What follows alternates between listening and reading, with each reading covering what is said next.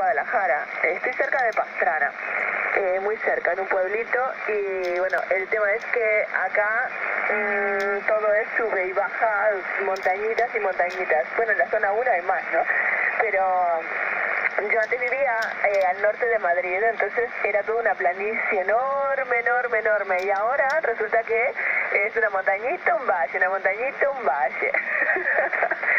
y bueno, para colocar esta antena fue una historia, una historia porque, claro,